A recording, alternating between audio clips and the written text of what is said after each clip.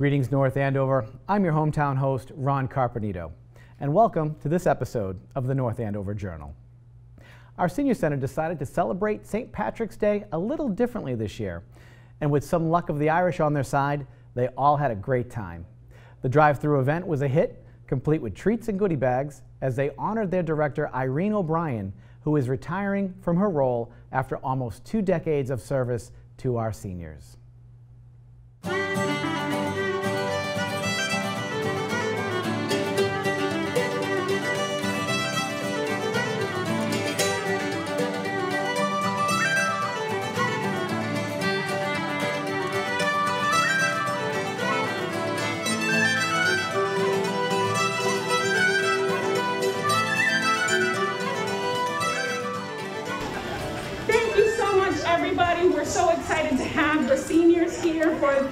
St. Patrick's Day Drive-By Treat Day. We're giving out treats that Senator Diana DiZoglio has provided.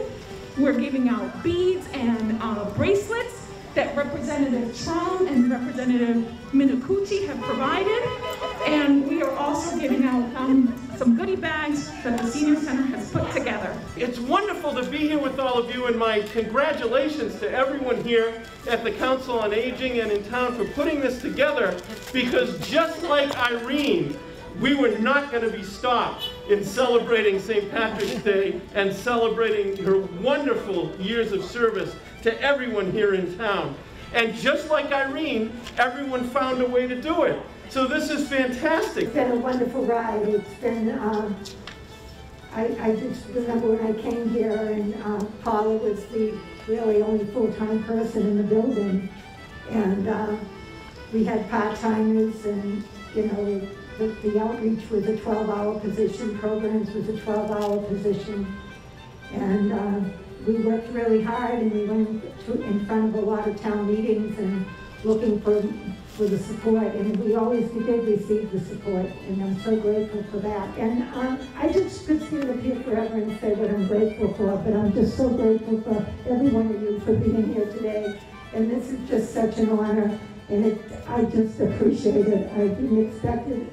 I just, thank you. I know it's been such a hard year, but you all do so much to bring back some sense of normalcy to our community and to provide this event for our seniors is such a treat, and especially for us who haven't really been outside or gone to any event, it is a special treat for us to be here. Hello, everybody. I miss you all so much, and you all look great with your St. Patty's Day gear on. It's always a pleasure to see you down here. Uh, a little bit different this year, obviously. Uh, normally, we get to get together and have our dancing activities and our uh, sing-alongs and the music and the socials inside with the food, but so grateful today to have such a dedicated group of volunteers and leaders that have put together this outdoor celebration to keep the festivities alive even during this trying time. So I just want to say thank you to everybody who helped to set this up today, to all the volunteers, to all of those who work at the Senior Center, and obviously uh, all done under the great leadership of Irene O'Brien, everybody. Um, one of the things that has been so great about having Irene as a partner is that during this COVID crisis, everything had to change a lot, and it wasn't what everyone was used to, and it wasn't the ideal world for our seniors. But she made sure that she did outreach to all of our seniors so they got what they needed. And then also, when it came time for vaccines, you have been at the forefront of fighting to make sure that seniors are not forgotten about, and I really appreciate that. That is something we cannot underscore enough here in North Andover. So thank you, Irene, for all that you've done.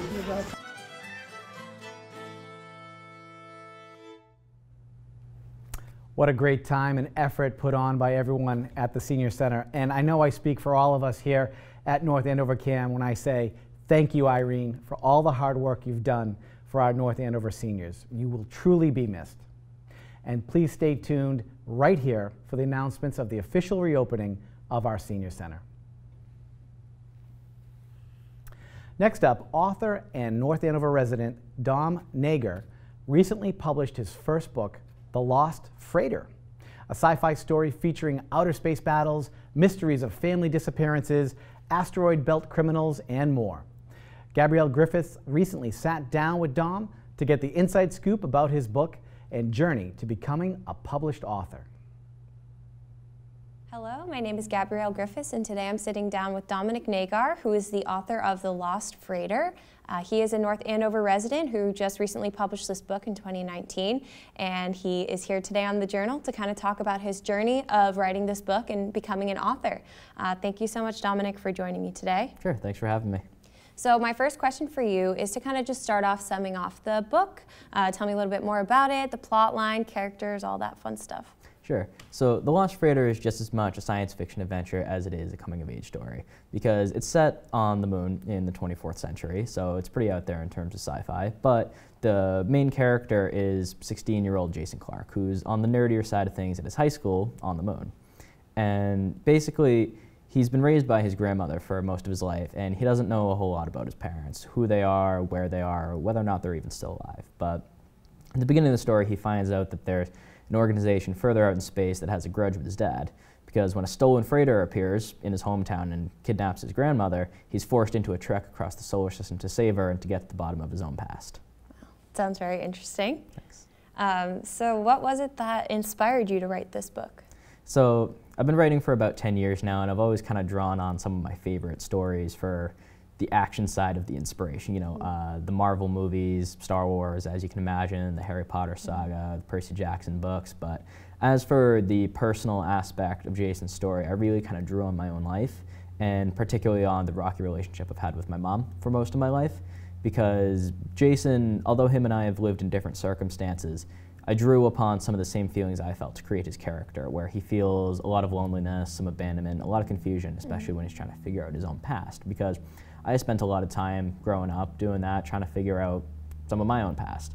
And it was really great for me to be able to create a character who I can make the hero of his own story and have him face down every challenge that comes to him because I, then I can uh, follow his example. And I'm glad to say that I have a good relationship with my mom now, and this book was a big part in helping me to get there.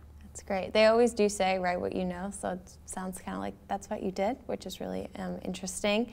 And it kind of leads me to my next question on the process that you had during this journey um, when it came to writing, creating, editing, and all that stuff, and, and then going through and publishing it. So, can you tell me a little bit more about that and kind of how long uh, the process took overall? Sure. So, I wrote the book in about three or four months during my freshman year of high school.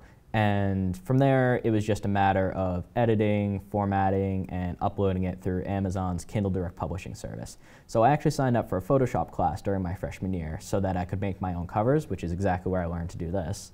And from there, I really just had to format into Amazon's um, layout and put the cover in and upload it together. And it did. I took my time with it because I was really consumed writing the two series, the two sequels for this book. Excuse me. But I'm really glad that this first one's out now.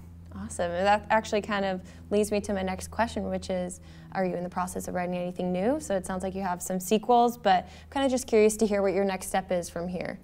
So I have some ideas for some new stories, but those are on hold right now because I really want to finish this project that I started with this book.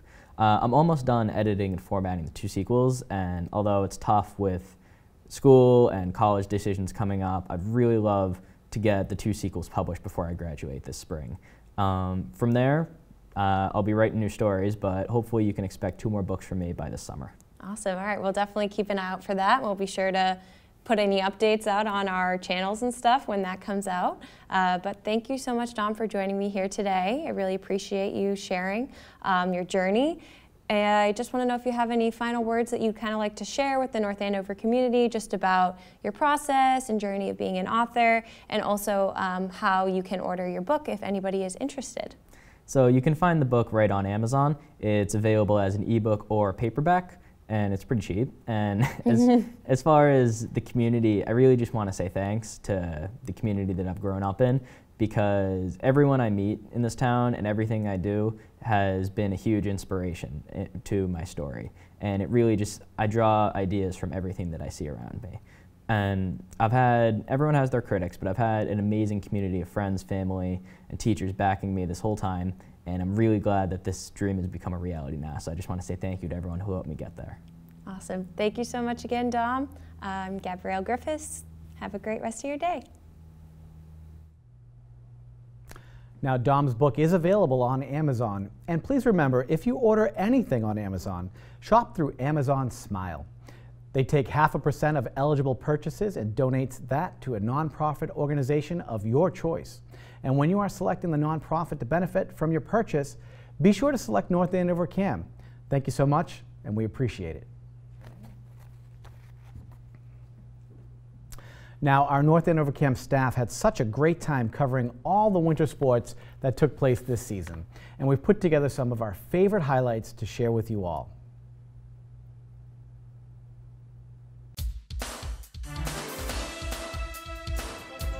Kutz driving to the left, off the glass, no good. Nate Williams, there he is! Hey, King almost came up with a steal. Kelly to the basket, blocked by Isner, Nate Williams! There's the defense. Kutz to Walensky, three-pointer, good! We're down to a one-point game. Here he goes, Harris King! Nice called it, it's gonna be, there it is! Here's Kutz drive to the basket, floater in the lane. There you go, nice soft touch. Connell Another chance. There's another three. Pensamelli, there you go. Inside O'Connell. Tie game. Yes.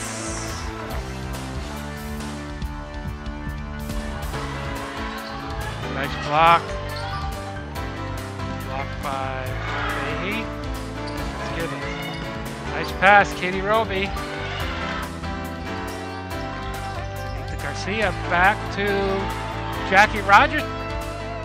Nice inside. There you go. Pull up, jump shot, bucket. Catherine Fitzgibbons in the game, sophomore. It's three. Anna Martin. Swish. Katrina Garcia from the corner. Nice pass. Oh, going in. This is Hines. Hines with a shot in. And a goal! Coming in with a clean pass to the net. Shot. And a big save there by Williamson. Finally goes back to North Andover, but then is taken away. Oh, that is a huge hit. Pass over. Berube has it now. Berube with a shot up. And a goal! Nice bit of forecheck there. Intercepted by DeBlasi. DeBlasi sidesteps the uh, defender. It's a two-on-one short-handed. That shot goes in. Shot. Score! And here they come. Nice. Oh, boy. the puck got through to the goaltender. The player did not. And North Andover still has it. That shot goes in. And a save. And hops over. It's a goal. With it now. Shot goes in. And a goal. And it's taken down. It could be a clean pass to the net. Coming in there, taking the shot, and a goal! With it now, here we go again. That's Zamirovsky. She takes a shot, and a goal! Takes a shot in, and a pad save there.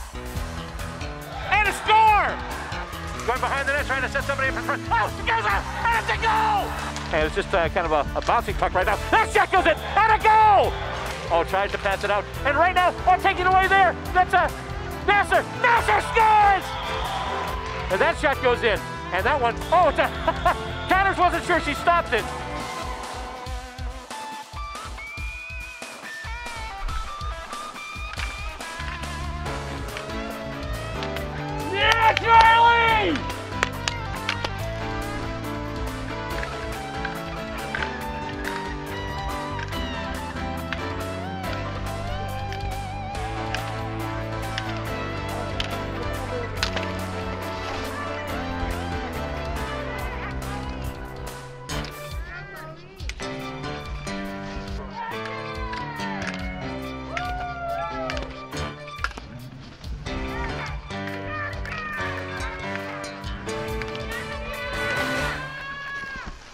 And remember, Fall 2 sports are now happening, and CAM will be covering those upcoming events as well. Now, some of our Fall 2 sports coverage has been made much easier by the addition of the new press tower built by the North Andover Boy Scouts. The tower is positioned over the North Andover High School upper field area and provides us with a much better vantage point from which to record the action on the upper high school field and track. Here's a look at what went into the construction efforts. Hello, I'm Aiden Loth. I'm an Eagle Scout from Troop 87, um, and this is my Eagle project. It is a filming platform for the town of North Andover. Okay. So uh, this project is a filming platform which is to be used by North Andover Cam to better film uh, sports games and community activities. So previously North Andover Cam had to balance their equipment on the rickety bleachers, uh, but now they can balance it on top of this platform. Uh, which should help them better film different events uh, from a better vantage point, from a little bit further forwards and at the 50 yard line.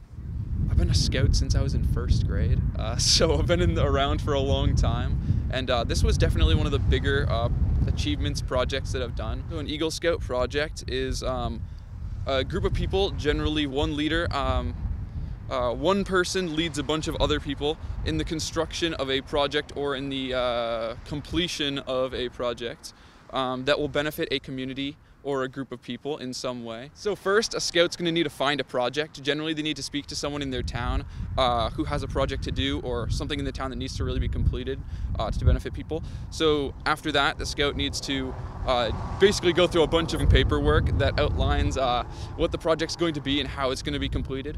Uh, then they need to find volunteers to help them make the project. Then they actually have to execute said project um, and construct it and then make sure everything's working properly before getting certified. We had to get this passed by the uh, school committee first, and then we had to get it passed by the uh, facilities manager. Uh, then we had to get it passed by the principal to make sure no events were happening here. Um, then we had to get it passed by the building inspector to make sure we were actually authorized to uh, build it. Uh, and then we constructed it, and then the building inspector had to come out again to make sure it was actually up to code. So when we were first designing the platform, um, we just came up with some rough sketches because we wanted it to be um, not too tall, but we also wanted it to be tall enough that it was as tall as the bleachers at least um, and sturdy. And our initial design did not include a lot of the framing that you can see underneath it. Um, it only contained cross braces, but we later figured that um, putting framing in instead of cross braces was going to help it be more sturdy, as well as block a little bit more uh, weather from getting under there. Uh, the rest of the design we uh, drew up on a digital software to um, make sure it you know looked good and worked properly and then we built it. Overall i think it went pretty smoothly. Uh, we despite the cold we actually got it done pretty quickly and uh, with very few hiccups uh, we did have to resize some stuff and we did have to drill different holes but other than that everything really went pretty smooth. Everybody stayed on task. We completed it relatively fast and none of the materials had any big problems. We didn't have any huge shortages and there weren't any big logistical concerns either. So we're out here uh, on our our new camera platform, setting up for the new spring season for track. Um, this platform was built for us by an Eagle Scout. We were out here last fall doing lacrosse, and um, it seemed like our cameras couldn't get up over the uh, the, the team on the sideline, and uh, it was hard to see all the action in the game. And if we were to put our camera uh, cameras up on the bleachers it, it would definitely rock um, and, and affect the shot and the coverage of the sport. So we, we talked to the scouts. It seemed like a good fit, and um, they they devised the project, and, and this is kind of the end result. So we're eager to get out here and, and film the track uh, for this spring season and, and figure out how, how well this works. It, it looks looks like a great view from here where I'm standing, so I can't wait to see the footage that uh, you guys can all watch on either Cam Access or Cam Ed to see the full season of uh, track. A very heartfelt thank you from North Andover Cam to Aiden and Troop 87. And please be sure to tune into Cam Access, which is on Comcast 22 and Verizon 24, to catch our coverage of track and field for the spring season and other upcoming events. Now, we are back with another episode of our series, Back to Business, produced in partnership with the North Andover Merchants Association. Now, on today's episode, we are featuring Merrimack Valley Body Works, where they discuss their new ways of getting back to business while keeping everyone as safe and relaxed as possible.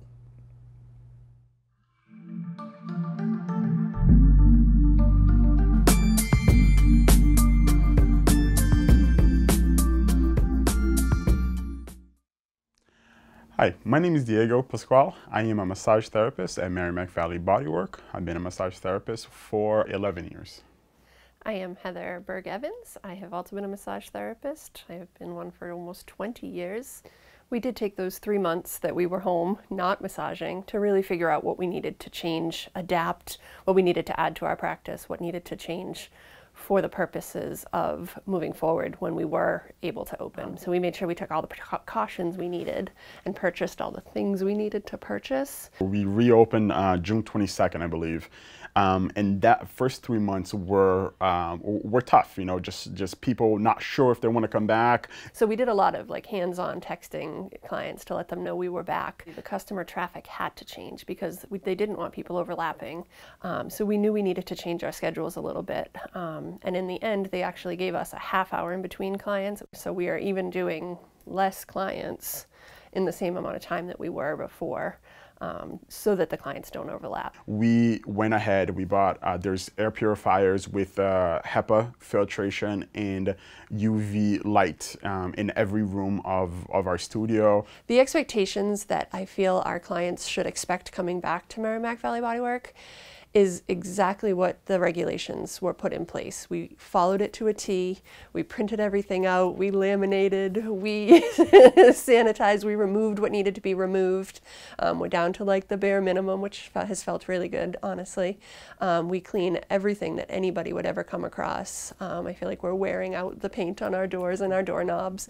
Um, we just make sure we make it an, at a point to um, have them walk in the door and feel that we've put the effort in um, because we have. You know, COVID has uh, certainly thrown a wrench uh, not only on just the everyday business stuff, but all the other add-ons, you know, that you don't even think about. You know, just the AC, the heating, all that stuff, and has really thrown. Uh, uh, a monkey wrenching through all of it. We have a whole new line of rescheduling now because people have that pressure of saying, I might have crossed paths with somebody and they don't know how many people to be removed from to be okay, to be safe. There's really no sense of like, I might have it or my sister might have it and I saw her four days ago and I don't know. So we have to be a lot more flexible with the cancellations and the same on their end because this has been the same issue with us.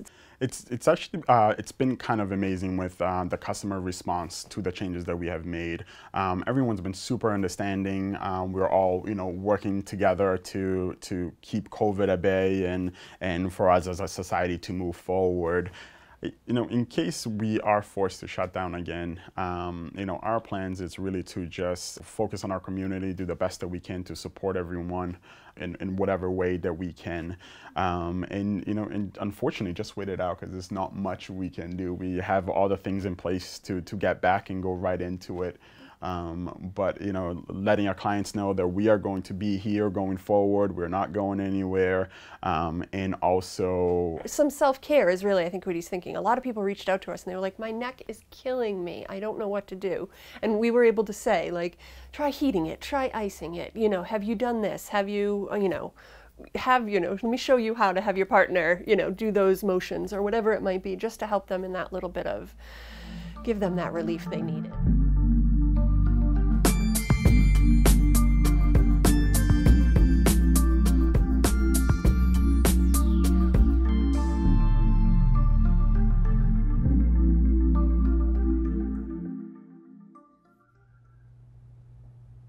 Now, here at the Journal, we are very happy to continue our collaboration with Merrimack College TV to showcase updates regarding campus life from students at our hometown college.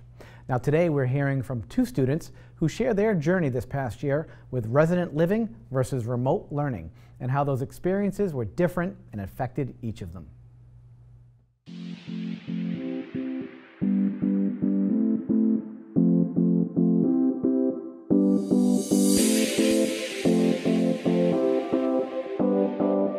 Hey guys, I'm Chris and I'm a sophomore here at Merrimack College. A little about myself is that I'm a communications and media major. I am the chief video editor for Merrimack College Television, and I also have a couple jobs on campus such as working for the O'Brien Center, the athletics department, and the school's communication and marketing department. Come along with me as I give you the day in the life of a Merrimack College Warrior student.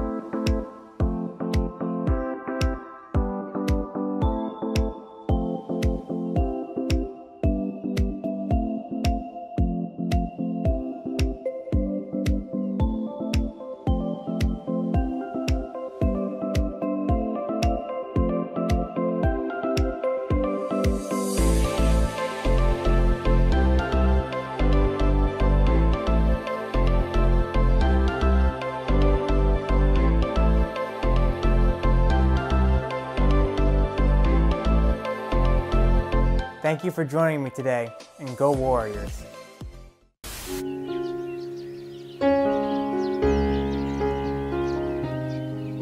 What's going on, Merrimack? My name is Christopher Zullo, and I'm here today to be the face of remote learning. No, I'm just kidding, but I am a remote learning student. I'm a freshman, uh, currently second semester, and it's going pretty good, I can't lie to you. It's a great gig where you can roll out of bed at 7.58 for an 8 o'clock class and have perfect attendance. I mean, that's saying something. Merrimack does a really good job, in my opinion, of one of the biggest challenges when it comes to remote learning, which is bridging the gap. And I don't mean physically because, I mean, for me personally, I'm just miles away from campus, but for others, they're states away. So it isn't really as much physical as it is figuratively to make the student who's in New York, Chicago, across the country, to feel as if they're in Andover, as if they're a Merrimack student. And I think Merrimack excels at this with giving us all the technology and everything necessary for us to have the same quality of learning as another student would. I mean, the commutes from class to class are uh, pretty good. You know, it's not too, uh, too much walking. I would say my best advice for any remote student is to have your own workspace. Don't do your homework in your bed. That's not, that's not productive. Get your desk, get everything set up on it. Even if it's two feet away from your bed like mine is, have something you can walk to. Because at the end of the day, you need to have a destination to do your work. Being a remote student is great. You create your own experience. You have your own freedom. Just how you use it is important. And with the software, Blackboard, everything's online anyway. It's really not that different than if I was to live on campus and do the same thing. All in all, it's a great experience, and trust me, I'd love to be on campus, but with everything going on, it's, you know, it just didn't seem worth it in my opinion. But I'll be there soon. Christopher Zullo, signing off. Thank you, Chris. And as always, if you have a news story or idea for a segment, please email us at thejournal at northandovercam.org. Now, thank you for tuning in to this episode of The Journal, and be sure to keep an eye out for our future episodes. And from all of us here at The Journal and North Andover Cam, I'm your hometown host, Ron Carpenito, and thanks for watching.